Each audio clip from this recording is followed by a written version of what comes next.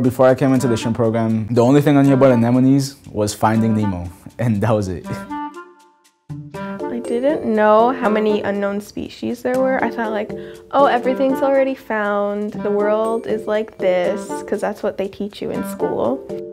I worked in the Science Research Mentoring Program here in the American Museum with Elena and Sebastian, and our project involved the description of deep sea anemones off the coast of Brazil.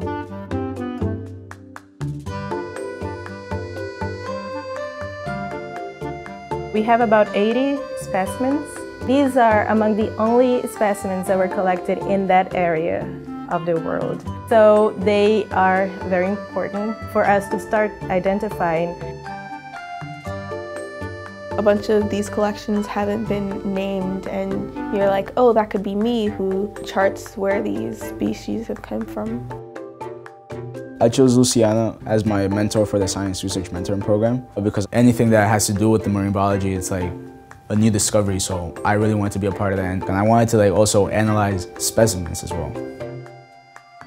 Most of these specimens were not fixed appropriately for DNA studies. But in anemones, we do not usually describe them based only on DNA. So the first thing that we did was physical features. We measured each part of the anemone, and afterwards we looked at them through a camera that really zoomed into the anemone itself.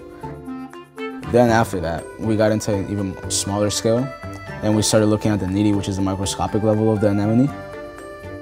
And then a few weeks later, she taught us the histology method, which was embedding the, the tissue into a paraffin block and then analyzing it through a series of dyes. I think it was towards the end of September that I first met Ellen and Sebastian. Two or three months after they started, they were already doing histological sections. I expected it to be like really hard for me and like very sciencey and I wouldn't be able to understand the jargon, but they really stressed that like it's fine if you don't know what this is. We're here to teach you that. We knew that we had something different in about January. The one that we were looking at is a type of anemone that grew on an octocoral, and that's something that hasn't really been seen before. Luciana found a bunch of anemones that it could possibly be, and we went through all of the criteria. It didn't really match any of them, so we determined that, oh, this has to be new. We basically already know that it's a new species. We just need to write the paper. We'll see this person discovered this, this person discovered that.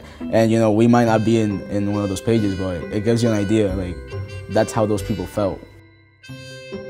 I think what they're doing here is almost like undergraduate level research.